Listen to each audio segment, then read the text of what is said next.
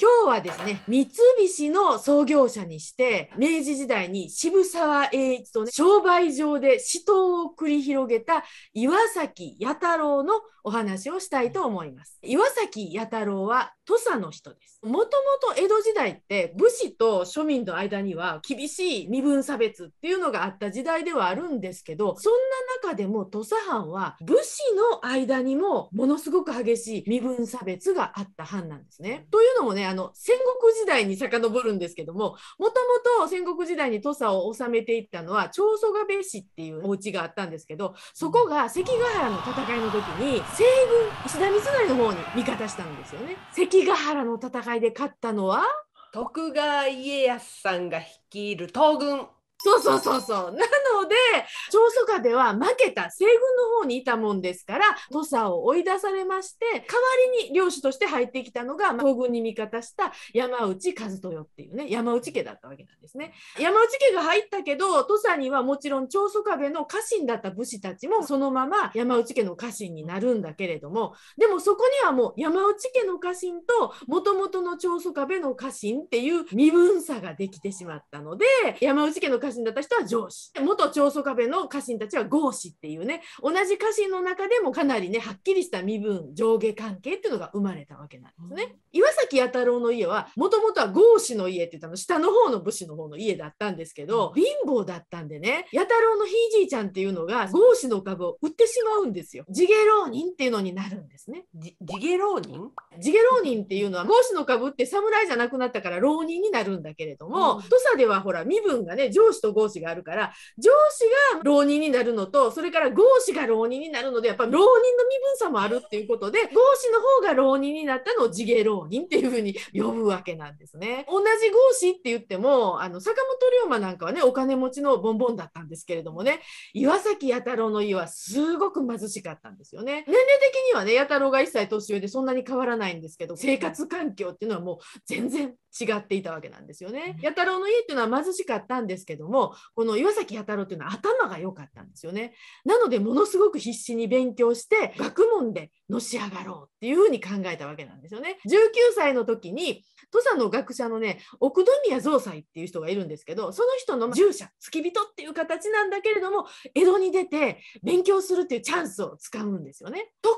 ろがそのすぐ翌年に土佐の国にいる父親が殴られて重傷を負うっていう事件が起こるんですよ。それを聞いたので 勉学を途中でやめて土佐に慌てて帰ってくるんですけれども重傷になったほどの事件なのに奉行所がね地下浪人のことだしっていうんで事件をうやむやに進ませようとして全然調べようともしてくれなかったわけなんですよね。でそれを「どうしだ!」って言って抗議しちゃったもんで地下浪人がねお上のやることに抗議するのは僭越であるみたいな感じで逆に牢に入れられてしまうっていうねそういうね事件も起こったりもするんですけれども地下浪人とはいえ負けん気はもう人一倍強いプライドも高いってていうのがねこれでまあ分かると思うんですけれどもね。ただまあ牢から出た後は弥太郎はね吉田東洋っていう藩の重役の弟子に入り込みます。この吉田東洋っていうのは土佐藩の改名派のね当時って上位派っていうのと改名派って言ってね開国するんだっていうのと2つ派閥があったその開国した方がいいっていうね改名派の指導者的存在の人で吉田東洋の弟子には上司の後藤正次郎なんていうのもいるんですけれども吉田東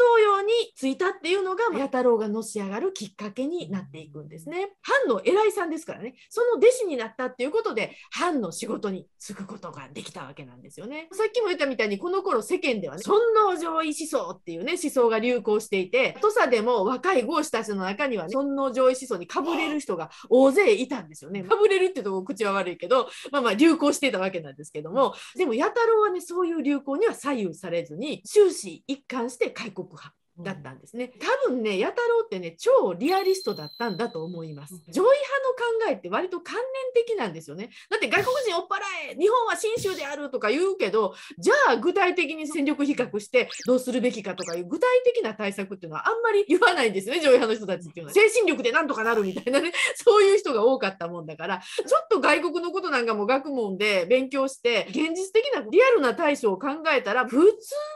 上位はないよなって考えるると思うので弥太郎っていうのはそういう意味ではあのリアリスト現実を見て物事を考えるタイプだったっていうのが分かると思うんですけどもねこのリアリストの弥太郎は慶応3年に同じ吉田東洋の弟子だった後藤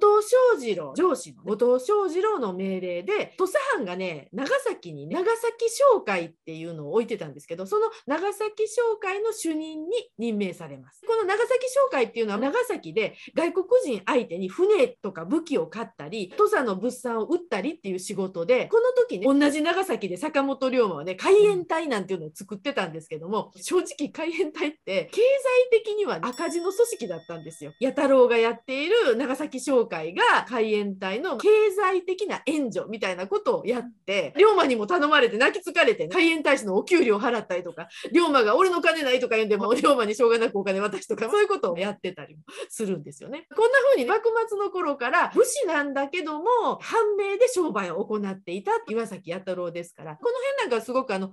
摩の五代友厚なんかとちょっと似た感じだったと思うんですけどもそういうふうなことをやってたもんですから明治になって明治3年に宿毛商会っていうのを作りまして藩の土佐藩の船を借りて東京大阪間で物資の輸送を行うっていう商売を始めるんですよね。ただ弥太郎が始めた商売ではあるんだけどもこの頃はね土佐藩がすごく財政難だったのでもう旧土佐藩なんだけどねその土佐藩の財政をなんとかしようってそれを救おうっていうことで始めめたのでまあまあまだちょっと藩士としてのね気持ちの仕事っていう意味合いは大きかったとは思うんですけどもね。だからつくも商会っていうのは会社ができたんですけどあの大阪にある土佐藩邸その屋敷跡の土地もらってでそこで本社を置くみたいなそういうふうなこともやってるし使う船のマークも土佐藩の山内家って家紋がね三つ葉柏って言ってあの土佐柏とも言われるんですけど三菱のマークあるじゃないですか今のね。土佐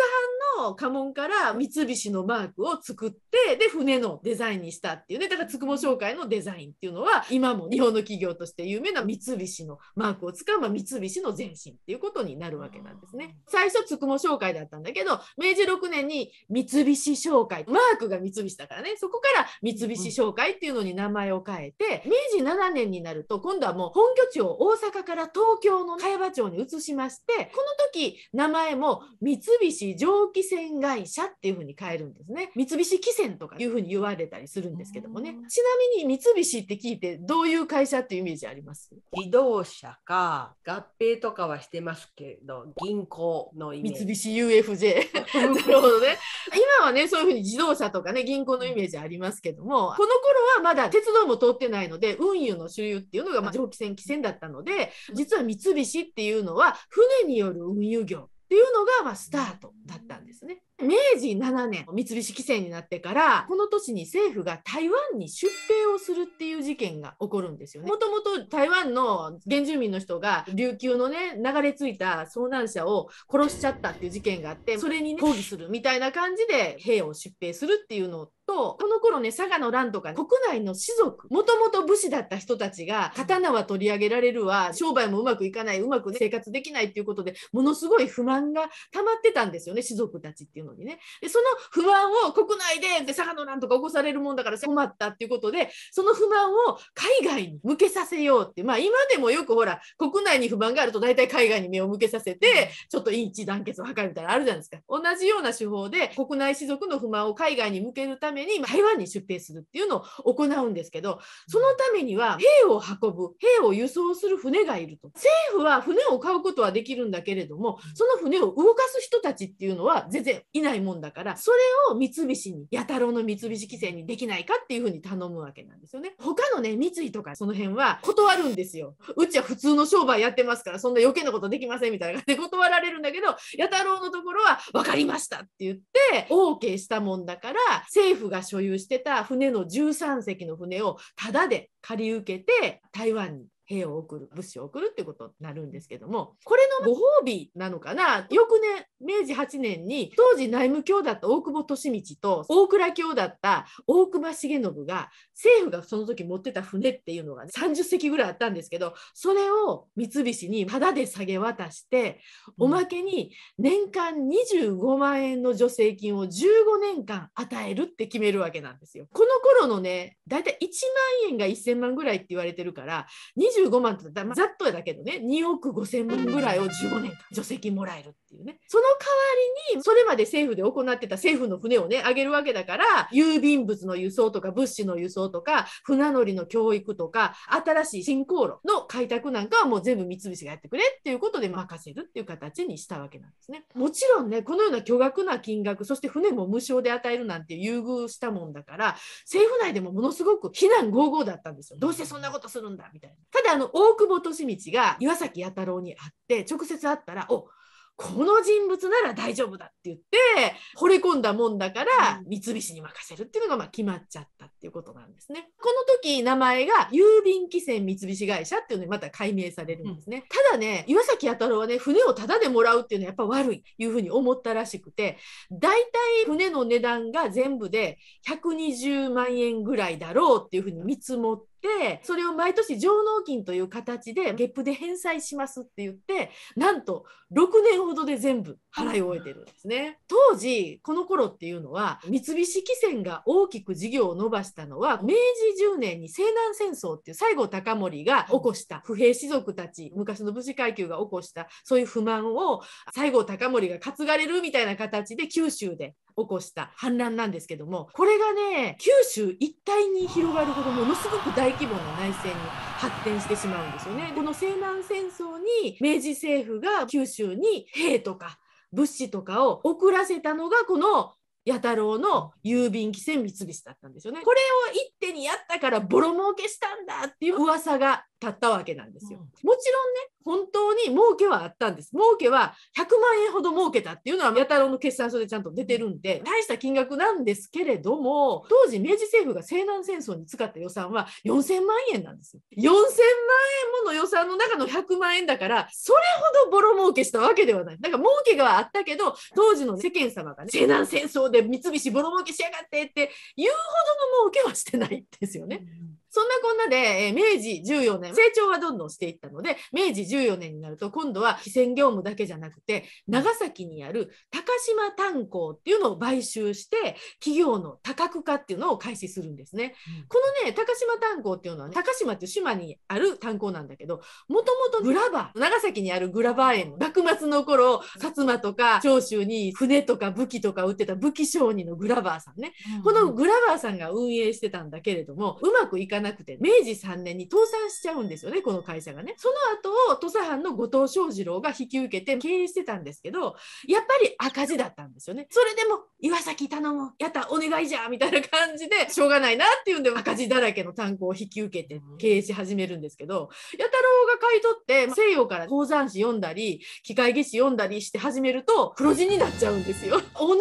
商売でもやる人によってここまで違うんだなっていういい例ですよね。弥太郎にはね詳細があったんだと思いますね。商売の、ね、才能がすごくあったんだと思いますね。でまあそんな風に炭鉱を皮切りにしましてね造船業銀行さっき言ったね UFJ の銀行でそれから倉庫あと保険、三菱海上保険とかね、保険なんかにもいろんな事業に手を伸ばして、どんどん多角化っていうのを進めていくんですけども、ただ、明治11年に大久保利通は暗殺されてしまうんですよね。さらに明治14年には、クーデターによって、大隈重信が政府から追い出される、そういう事件があって、大久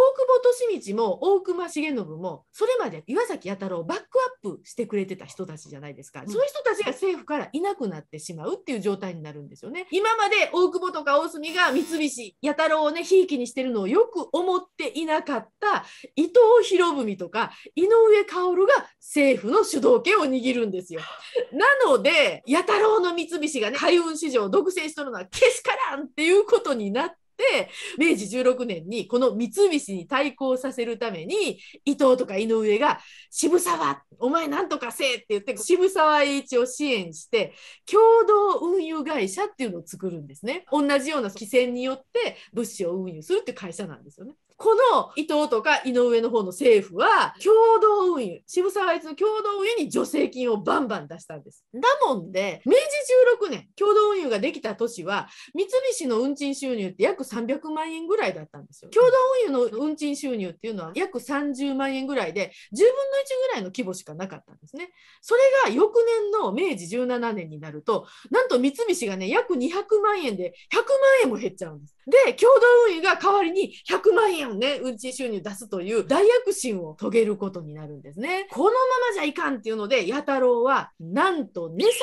げを敢行します。値段を運賃を下げるんです。そしたらね、渋沢栄一も、じゃあ俺も負けてられないって言って、また値を下げる。そしたら弥太郎は、よっしゃ、お前が下げるなら俺も下げるって言って、で、H が、うん、じゃあ俺んとこだってもっと下げてやるって言って、どんどんどんどん値下げ合戦、つまりダンピング合戦が始まってしまったわけなんですよね。大体今もそうなんですけどね、値下げ合戦始まるとね、どっちの会社にもいいことはないんですよ。うん、採算度外視で値段を下げていくもんだから、しまいにはね、汽船同士の事故まで起こるっていう始末になります。整備にもお金回せない。で、航路もね、時間とかもすごくキツキツになって、タイトなスケジュールになっていくんで、もう危ないことになって、事故が起こる。なんてことにまでなってしまったんですが、それでも両者引かない。2人とも負けず嫌いだから一歩も引かなくて、なんとね、2年間もそのダンピング合戦が続くんですよ。この2年の死闘ですよね、が収束したのは明治18年に弥太郎が亡くなったからですね。実は